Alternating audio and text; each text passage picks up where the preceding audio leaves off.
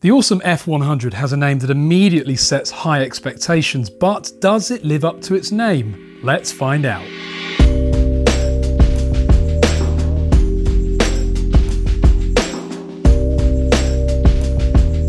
Hi, I'm Ash from Droning On. In order to bring product reviews to you, our channel needs to grow, so please support us by giving the video a thumbs up, click subscribe and hit that small bell icon to see our reviews first. Finally, whilst you're watching, comment below with your thoughts, questions or feedback. So here we have what is apparently a really awesome little mini brushless quadcopter. It's called the Awesome 100 and this one's come to us from GearBest. Now it priced at just over $100 and there are only two receiver options which are to have it with an FrSky receiver or PNP which is basically plug and play. In other words, connect your own receiver. We've got the FrSky version here and if I can get it out of the box I'm going to unbox it for you. uh, but it's proven to be a little bit stubborn. But okay, here we go. Yay!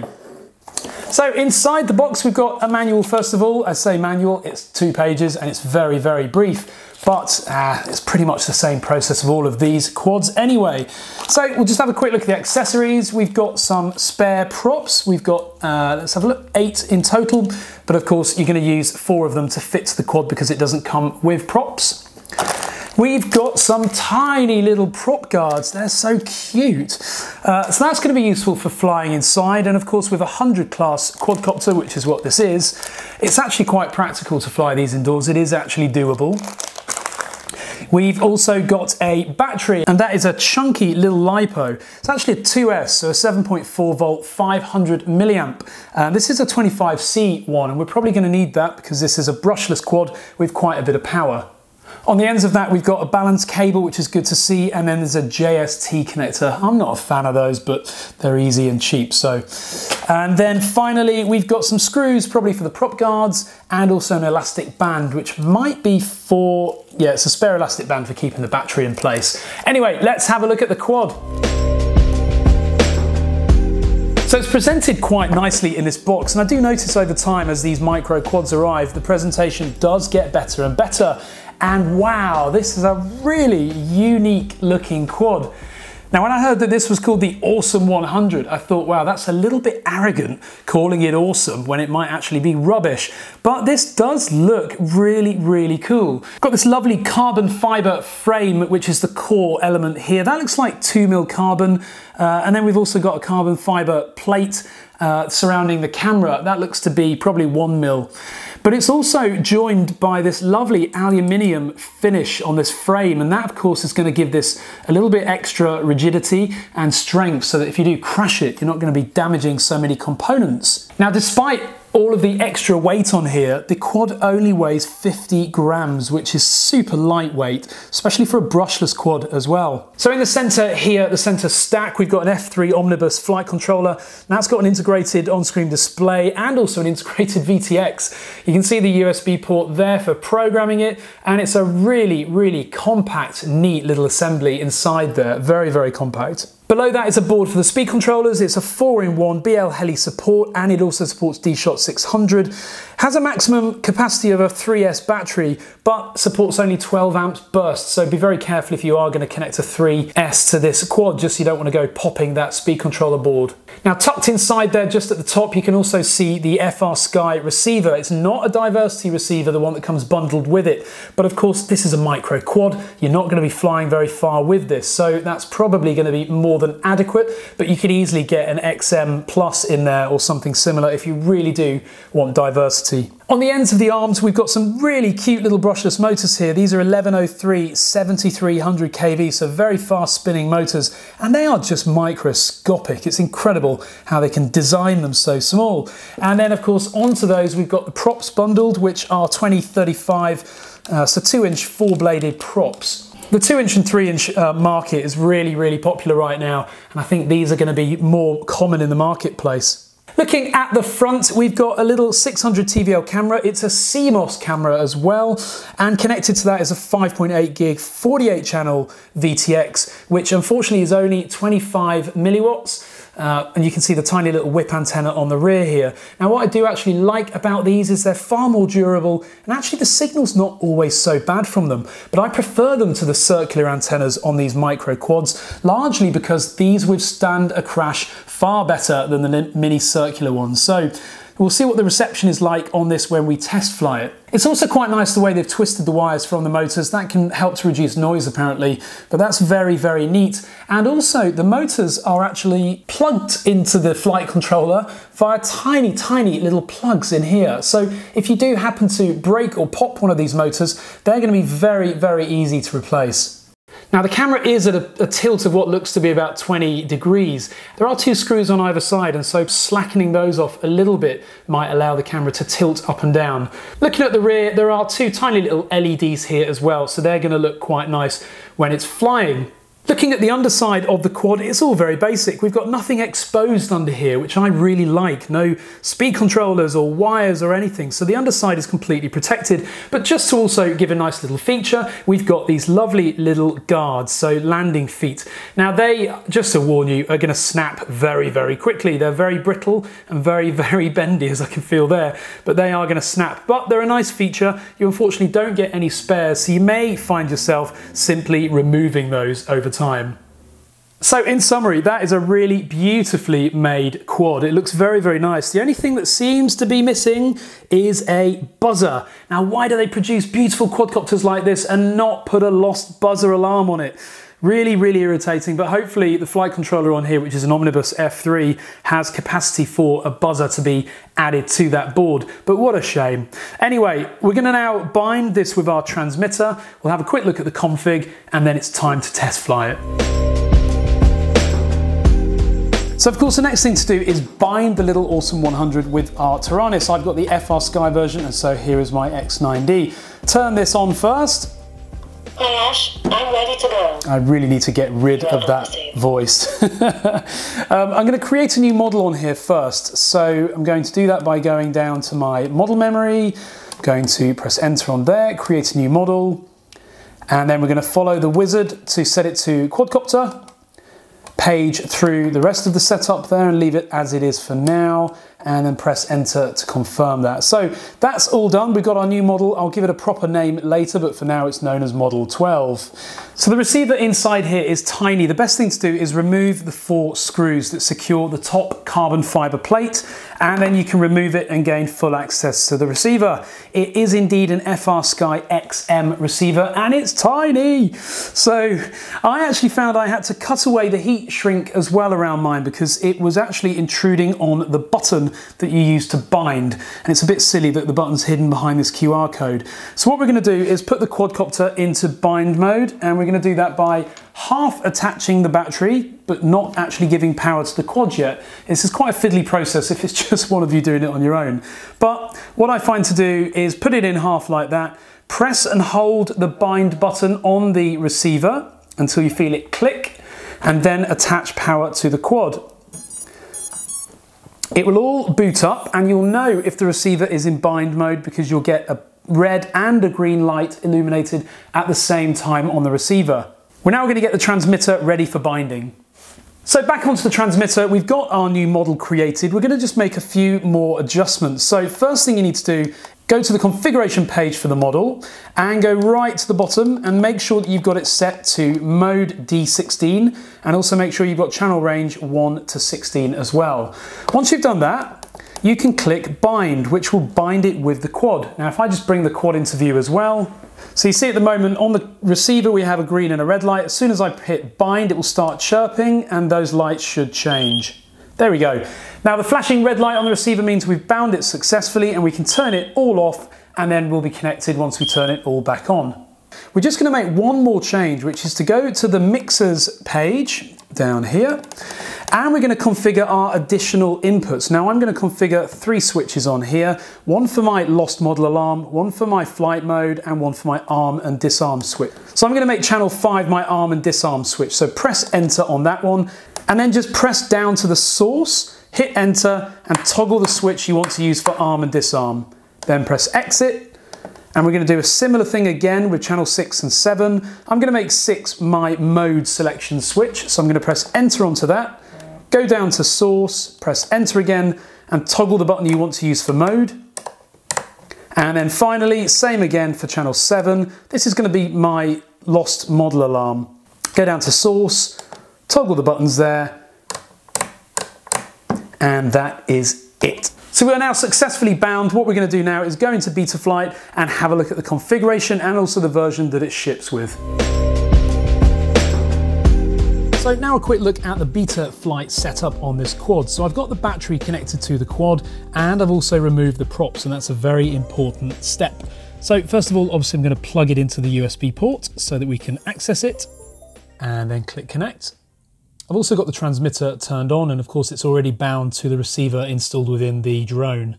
So first of all, accelerometer is all working fine. I did actually test that on a level surface earlier and it doesn't need recalibrating, so I'm going to leave that as it is. Now, one thing I did observe is that the XM receiver inside this quad is not actually set up. So first thing you need to do is go to the configuration tab, scroll down a little bit and set the receiver to serial based and then set the receiver provider to S-Bus. Once you've done that, save and reboot. And then of course reconnect to the quad. And then what we're going to do is go to the ports tab and set the UART3 to serial RX on, then click save and reboot. And just to note, some of these settings you might have to apply twice because sometimes they don't save properly in Betaflight for some reason. So then we'll reconnect and hopefully when we then look at the receiver tab, the, there you go, the inputs from our transmitter are now recognized. So all of our auxiliary channels are also working perfectly as well. So that's great. The next thing to check, of course, is the channel map, which at the moment is wrong. So we need to change this to the Taranis channel map, which is T-A-E-R. Then hit save. That will remap the channels and hopefully they'll all match to your transmitter, but always check just to be sure they all look perfect. Now we've clearly got an issue with RX range here. Our endpoints are not very clean. There is a document that I've written, a guide on how to fix that. Uh, if you click the link on the screen that you see now, follow that guide and that will get those set perfectly. So very quick look at configuration. Now it also defaults to one shot 125. This quad does support D-Shot 600, so we're going to set that option as well. And we're going to give it a quick craft name. We're going to call it the Awesome 100. And the other thing I noticed as well is that the LED strip for some reason is disabled. So the LED lights on the rear weren't illuminating. So I've set that to on I'm going to leave air mode not permanently enabled because I, I prefer to toggle that on and off with the mode switch. Click save and reboot. And the first thing you'll notice is that once it reboots, the LEDs light up and they look lovely. So we're going to leave all of the PID settings on their stock settings. We're going to fly this exactly as it arrives from the factory. You can of course tune those yourself later. Next thing we'll do is set the mode. So first of all, our arm switch we're going to have on aux1 so slide the sliders up to the top, like that. There we go. Next, we're going to add air mode. So we're going to put air mode onto the same switch that we're going to put our flight modes on. And I only want air mode to toggle when it's on the horizon and rate mode. So I'm going to leave that set like that.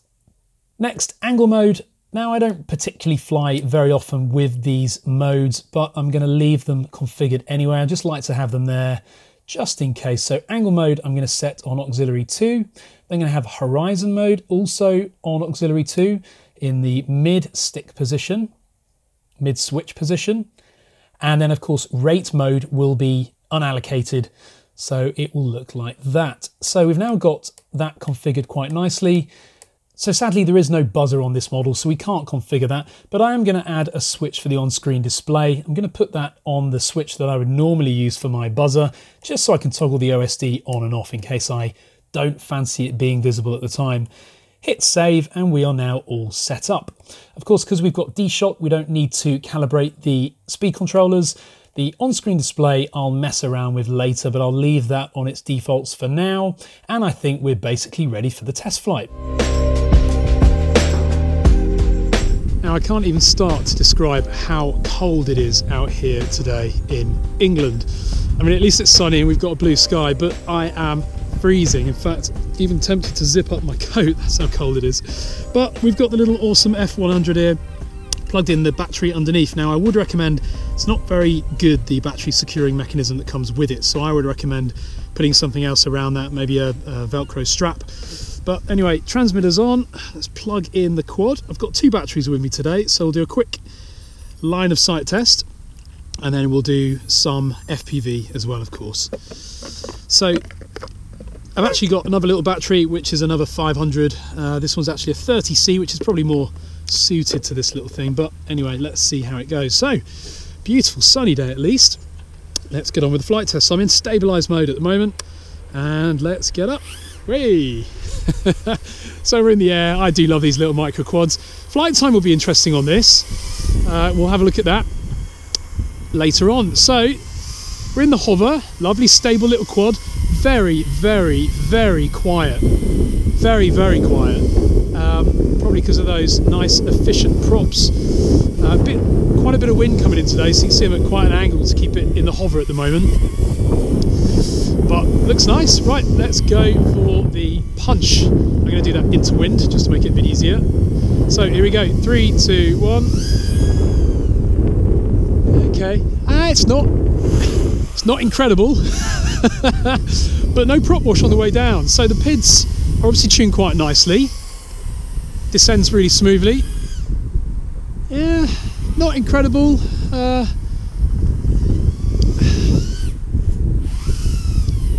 acro's nice. Very tidy, yeah.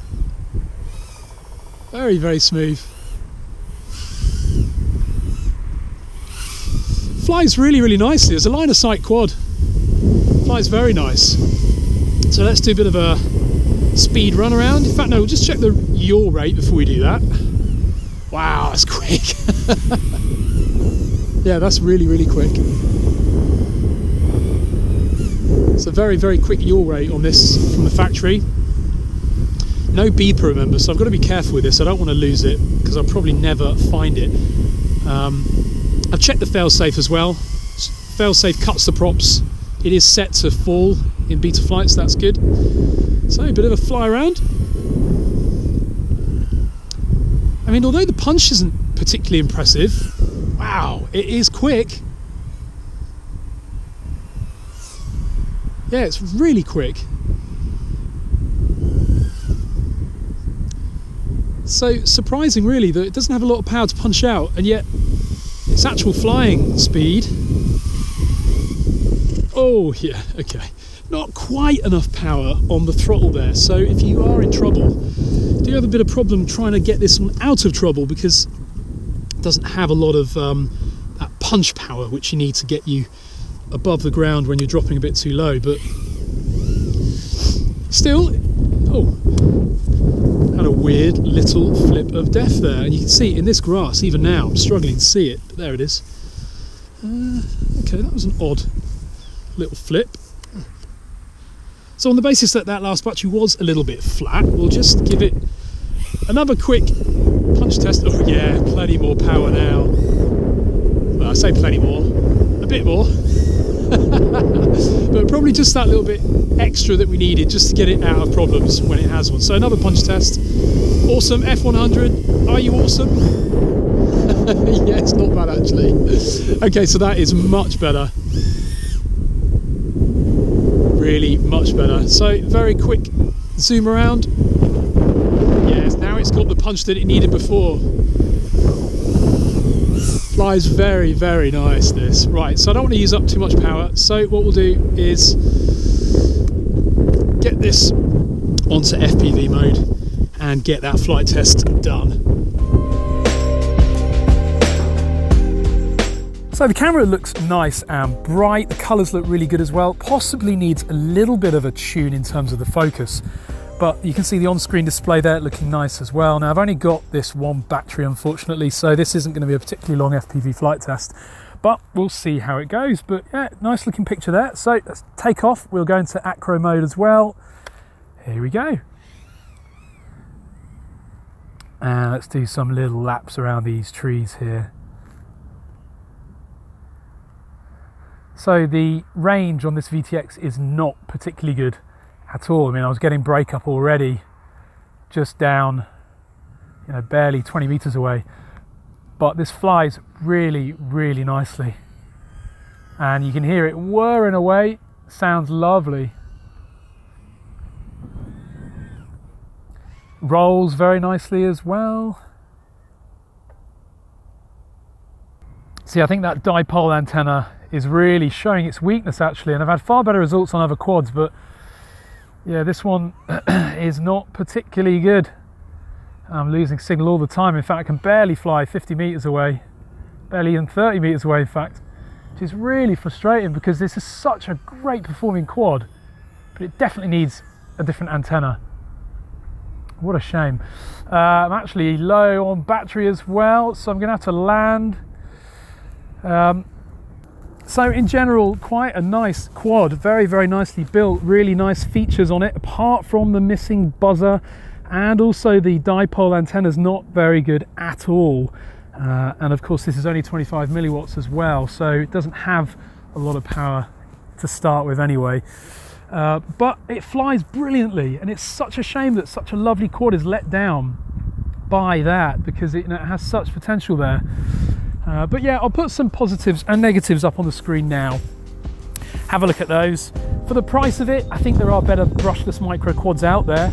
But if you do want a really nice flying quad that could perhaps be uprated with the assistance of a different antenna and perhaps a different VTX, then this could be the one for you. Awesome, eh, not sure if it is so awesome, but I'll leave that decision with you. Thanks very much for watching. Be sure to subscribe, comment below, and of course, give us a thumbs up.